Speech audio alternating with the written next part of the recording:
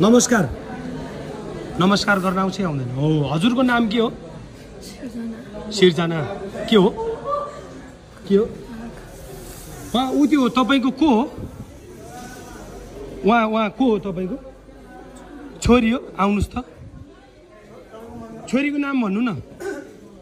छोरीको नाम। छोरी त छोरी हजुरको छोरीको नाम भन्नु त। नाम के हो मेरो? मेरो नाम भन्नुहोस् त। नाम के हो? नाम के हो मेरो? छोरीको नाम के हो? के भन्यो? के भन्यो? के भन्यो? भन्यो? भन्यो? नाम भन्यो? नरौ नरौ नरौ ठिक हो अरे मेरो नाम के हो हो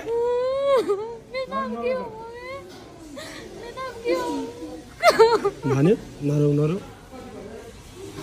मम्मीलाई राम्रो भयो है। उहाँ चाहिँ को हो यहाँ आउनुहोस् उहाँ को हो उहाँ को हो को हो बुहारी हो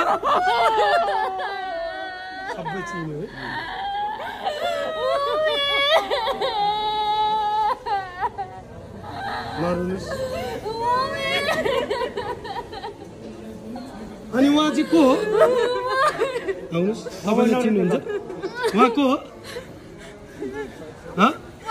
को बाबा हो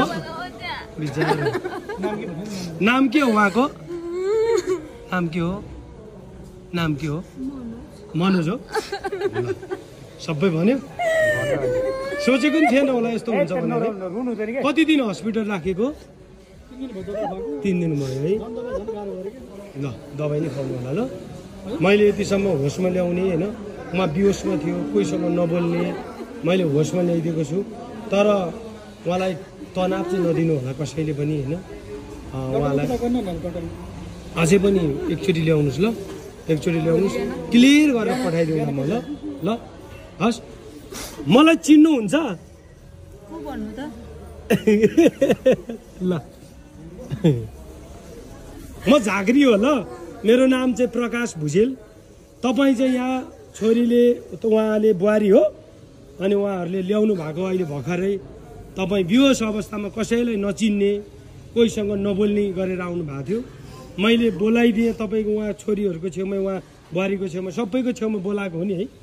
अघि कस्तो अवस्थामा ल्यायो अहिले हेर्नुहोस् त नाम शुद्ध भन्यो सबै मनस्तिक होस हावा सबै उडिसकेको थियो उहाँको।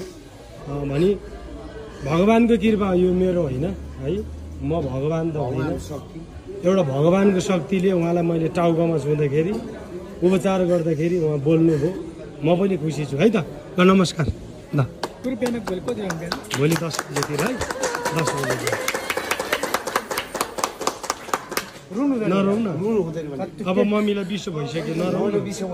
अब बिसो भइसक्यो ल।